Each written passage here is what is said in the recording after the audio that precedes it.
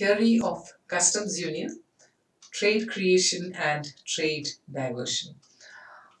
Welcome to this presentation. This uh, presentation is a continuation of the ideas that have been discussed earlier, that is that of free trade and protection and then we saw the presentation uh, of uh, tariffs and the diagrams that were used to explain tariffs and its effects and the last presentation was on regional trade agreements or what we call as the trade blocs. So this topic is a continuation of that and these are sequentially studied. Jacob Viner in his work in 1950, the customs union uh, issue, discussed the issue that arises when countries become members of a customs union.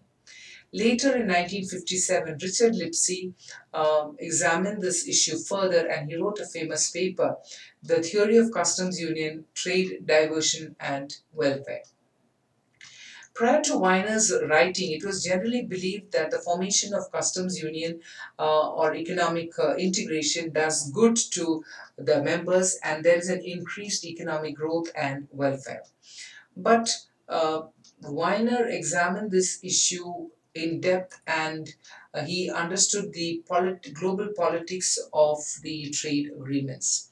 He came to the conclusion that the formation of these customs union can have welfare enhancing effects no doubt but it can also uh, have some welfare reducing effects and he coined the two terms um, trade creation and trade diversion. Trade creation was intended to say what are the good things that happen or the good advantages of uh, forming a customs union and trade diversion was to examine the negative side of the formation of customs union. Now this uh, what presentation that I am presenting to you here is a static uh, uh, partial equilibrium approach.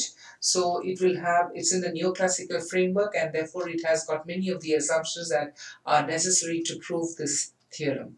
So we have uh, constant returns to scale, a homogeneous commodity in all the three countries and there are three countries A, B and C. A is the costliest country, B is a cheaper country and C is the least cost country before the formation of customs union. This is something which you have to be very clear.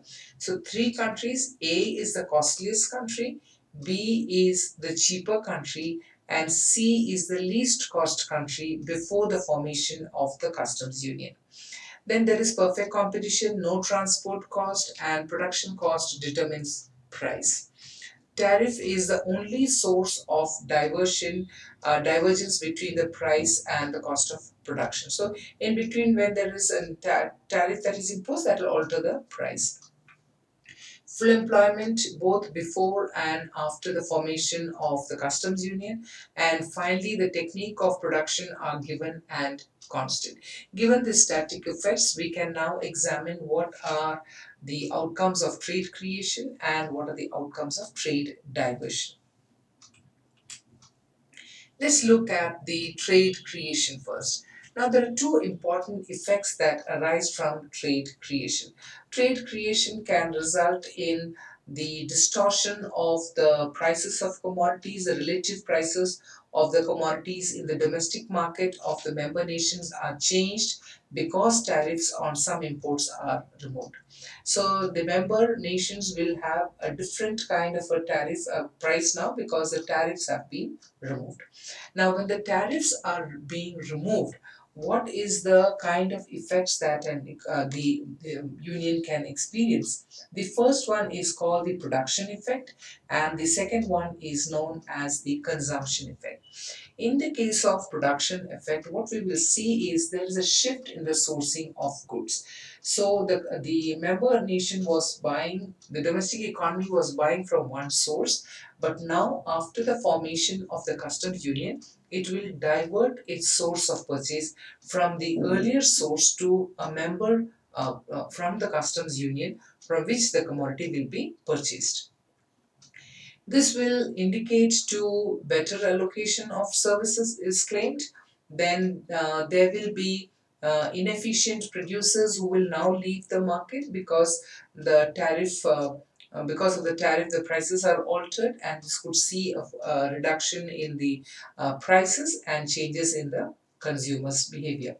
We can also see that the producers benefit will re, uh, reduce when the customs union come into operation we can also look at the consumption effect. The consumers are better off when a customs union is formed because now goods will be available at a lower price there will be increased consumer surplus and the government also may lose a tariff because now the tariff is not imposed at all. Simple table to understand how the trade creation is affected because of customs union. There are four columns. The first column is country and the production cost. Two is the country A, which is the least efficient of the three uh, uh, countries here. Second one is country B, which is more efficient than country A. And then you have uh, C, which is the efficient but rest of the world um, economies.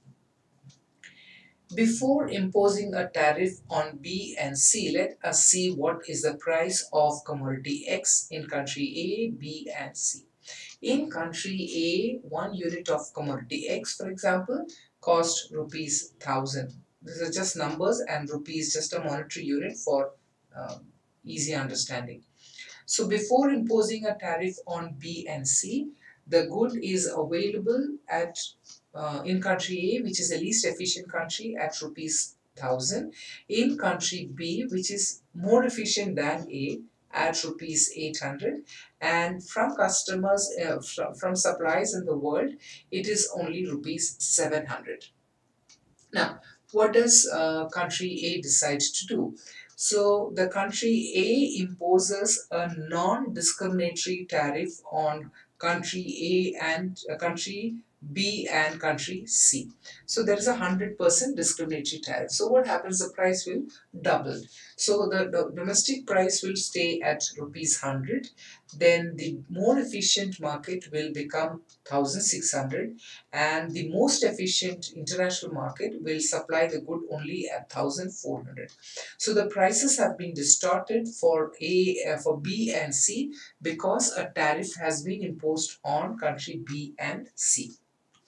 Now, once this price is ready, let us take the third stage. What is the third step?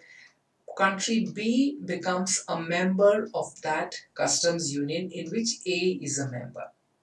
So, what will happen to country uh, B's price? Obviously, we understood from the earlier presentation on regional trade blocs country A will now remove the tariff on country B. So when country A removes the tariff on country B, the price will be 1000 domestically, but with the uh, country B which is more efficient than country A, the price will be 800 but the rest of the world will become very costly at rupees 1400.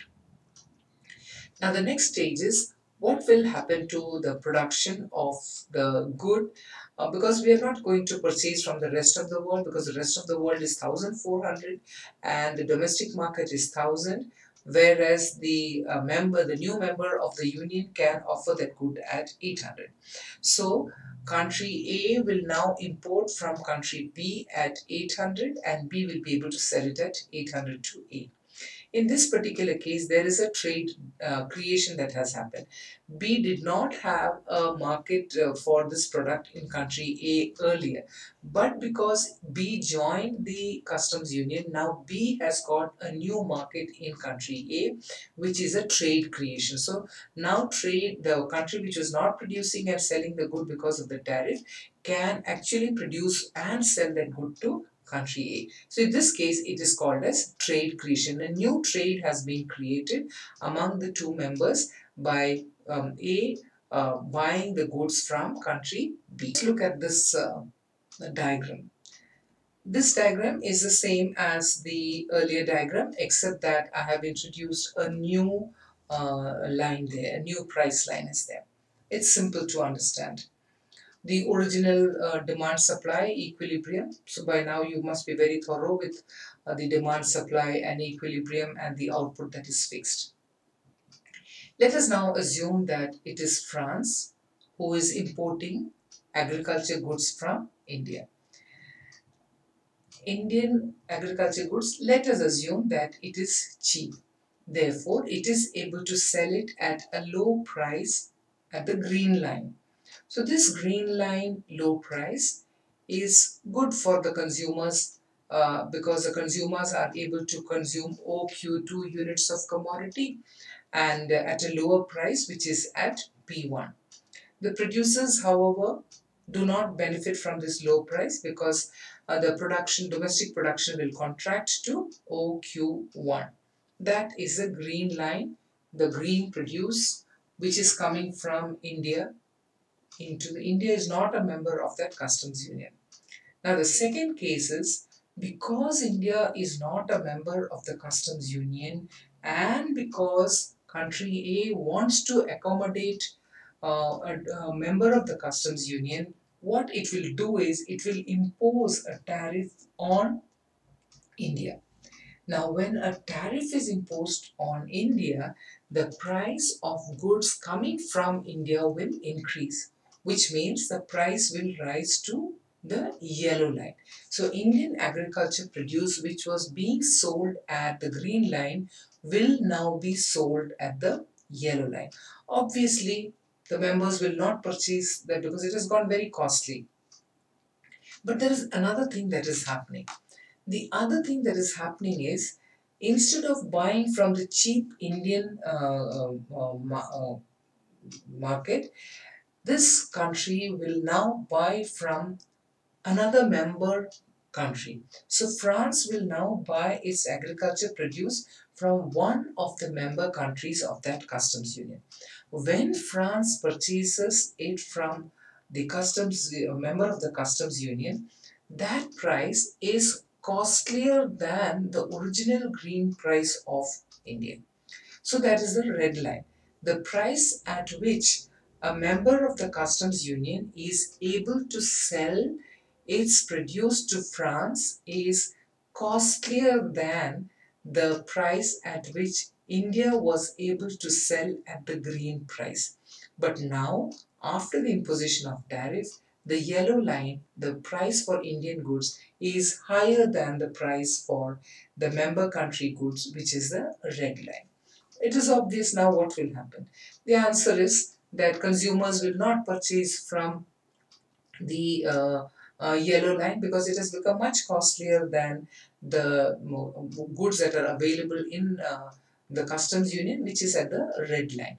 So once it comes at the red line, the effects can be seen both in terms of production and in terms of consumption.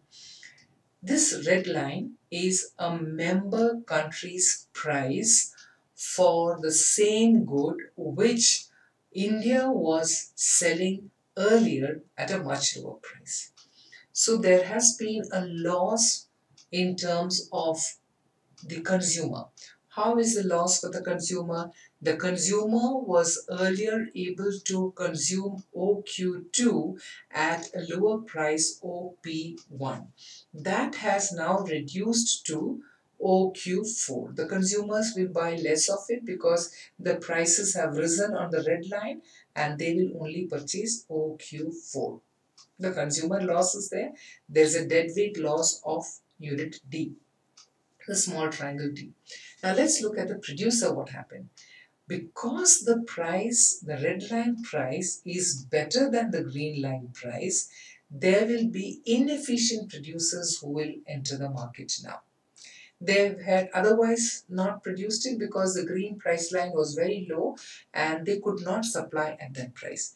Now that the member country is, uh, member of the customs union is selling at a slightly higher price at the red line, then inefficient producers will enter into the market and they will produce OQ3 units of the commodity. So when inefficient producers are entering into the market because they are uh, because the uh, member country is selling it at a higher price, the inefficiency in the economy will arise now. What is the inefficiency? Inefficiency is a small triangle B. So B is inefficiency which is arising because a member country is uh, supplying it and on the other hand we have the consumers lose out because the prices have gone up. So this is a loss for a loss of welfare for the uh, member country uh, for the uh, friend, uh, fra- for France who was buying it cheaper. There are two losses that have happened. One is there is an increase in inefficiency because more inefficient firms have entered into production. And two that the consumers have lost out because they are consuming less and at a higher price. This is known as trade diversion from an efficient country to a less efficient member country only because they are a part of the customs union. This is where we say there is a trade diversion taking place, a diversion from a good, uh, cheaper country, a less costly country, to inside the customs union. And when it is inside the customs union, the member is costlier than that non-member. In which case, the domestic, the customs union member are actually losing out by buying it costly from a a close member. So because of that association of members inside the customs union, they are protecting each other. They are giving that um, demand, the, um, the demand for those goods to the member country. The members are actually losing out instead of buying it from the cheaper country which was outside of it. So this is how trade diversion takes place. Now there are also uh, the dynamic effects of customs union which is known as the long-term effects of customs union. If they are members of the uh, customs union for a long time, what will happen? Yes, there will be economies of scale. There would be stimulus to investment that can take place because they are now within their own uh, customs union. They will decide which kind of investments they can take place. There will be better utilization of available resources and there could be increased competition inside the customs union. But then the answer whether being a member of the customs union is good or bad, Viner says there is no one answer. It depends on a series of things. It depends on uh, who is affected by trade, uh, how is the trade between the members of affected, then who has um, raised the barriers against imports and from the rest of the world, then members how, how are they going to remove the uh, non-tariff barriers that are there how are they going to fix the tariff rates all these are the uh, kind of issues that has to be considered and only then it can be assessed whether they are benefiting from trade or uh, there or there is trade diversion taking place. There are certain disadvantages of trade uh, um, so customs union. The loss of uh, independence of members is what we see and also fixing the tax uh, tariff rate among uh, for different goods to different countries is also considered to be a problem. I hope this uh, idea of tariff uh, and its uh, custom role in customs union, the trade creation and trade diversion is clear to you and it will be useful for your examination. Please do uh, uh, click the subscribe button and the like button. Post your comments too because it can help me in making more videos for you. Thank you very much.